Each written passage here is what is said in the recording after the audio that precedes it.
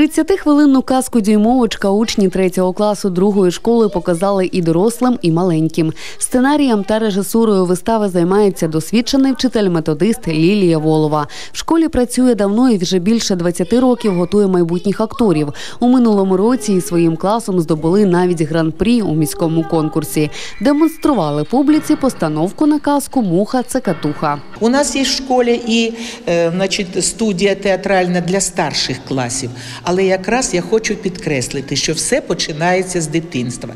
І я хочу сказати, що після таких вистав, якщо ти через багато років будеш пригадувати рідну школу, то завжди будеш пам'ятати, що ти була тут великою актрисою, великим актором, Костюми тут шиють самостійно. Звісно, без допомоги батьків не обходиться. Вони виступають спонсорами. Макіяж та зачіски артистам роблять також мами та вчителі. Одним словом, докладають всіх зусиль, аби діти виходили на сцену гарними і почувалися зірками. До слова, тут у дітей немає боротьби за кращу роль, оскільки Лілія Іванівна переконала, всі персонажі виконують важливу місію Когда ты танцуешь, ты все равно э, несешь очень важную роль в спектакле. И даже если у тебя нет слов, то все равно это очень важно. Ми танцювали, хоч у нас було да- навіть ну дуже мало слів е, у нас у жабок.